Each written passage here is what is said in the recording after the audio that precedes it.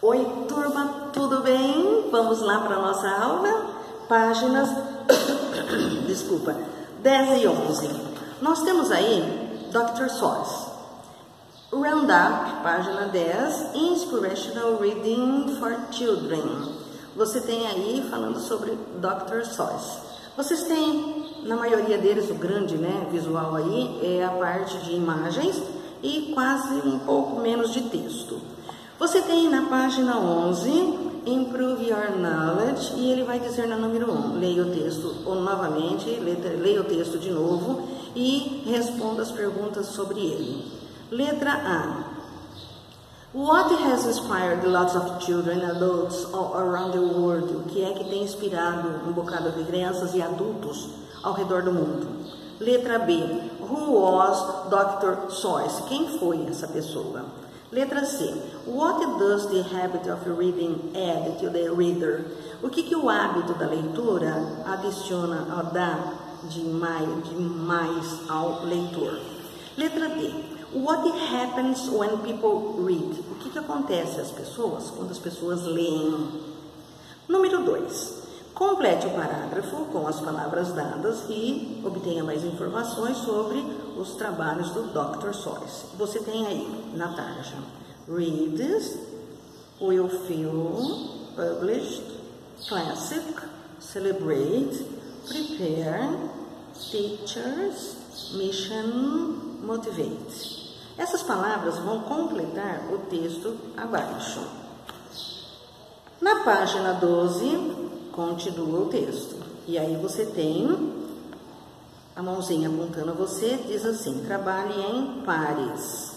Como a gente está à distância, não vai ser possível, mas faça sozinho ou com a companhia de um irmão, se tiver. Escolha duas palavras dessa imagem abaixo para elaborar sentenças usando-as. Tenha certeza que você conhece todas. Se não conhece, use um dicionário. Leia sentenças para os seus amigos de sala. Aqui no caso não vai dar para ler, né? Porque a gente está longe, mas você pode enviar a mim esse material, valendo a pontuação de nota, e eu quero saber o que, que você escreveu. É, você vai escrever é, sobre, com essas palavras aí, você vai pegar uma ou duas palavras e vai montar uma sentença simples né, que você dê conta de elaborar, relacionada à leitura, que é relacionada ao tema que você está vendo aí do Dr. Seuss, certo? Então você tem often, letters, non-fiction, composition, formal, words, works, literature. Vocês têm bastante palavras aí, dá para montar uma sentença curta, não precisa ser uma coisa muito elaborada, não, prática, relacionado ao tema. Feito isso, você vai para Homework 28.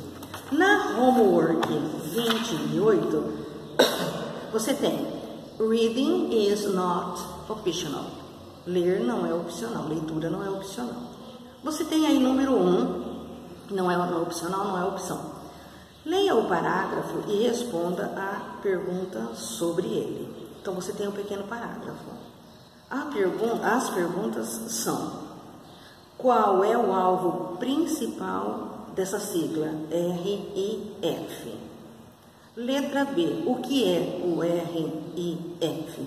Letra C. O que acontece quando uma criança lê? No texto diz o que, é que acontece. Número 2. Explique as citações com as suas próprias palavras. Esse daqui vocês não vão precisar fazer, porque depois eu trabalho com vocês em inglês, certo? Na página 53 e 54, a letra A, B, C e D, eu trabalho com vocês. A gente vai é, comentar em português e depois eu passo a resposta para vocês em inglês. Mas eu quero que vocês interajam com a questão do texto sobre Reading is not optional. Feito isso, enviem a mim. Não se esquecendo, na hora de tirar foto, tirem foto com o número da página.